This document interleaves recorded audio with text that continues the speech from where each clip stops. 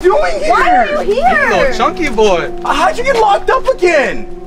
What are you doing here, dude? Are you a part of the zoo? Is something going on with the zoo right now? What's going on? He looks super Were you like, sad in there. were you stealing Snicker bars again or something? Is that why you're here? What's he doing? He's What? shaking his little butt right now. What? He just But what the hell?